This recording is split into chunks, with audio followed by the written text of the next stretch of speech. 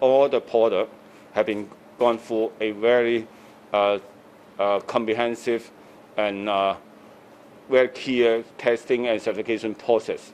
So the product can fully comply with the ASTM F200, 2100 level 1 requirement so that the product can fully meet the need to protect our people from the COVID-19. But I have to emphasize that this process must be done by proper laboratories. That's what we have done. So for those people who may not have complete understanding about the product, you may uh, go to our website so that you can see the report and the certificate.